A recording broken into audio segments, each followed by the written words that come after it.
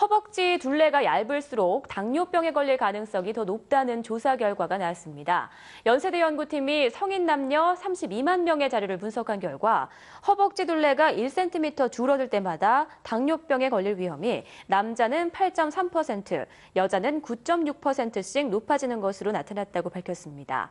허벅지 둘레가 43cm 미만인 남자는 60cm 이상에 비해 당뇨병에 걸릴 확률이 4배 높았고 허벅지 둘레가 43cm 미만인 여자는 57cm 이상에 비해 당뇨병 위험이 5.4배 높았습니다.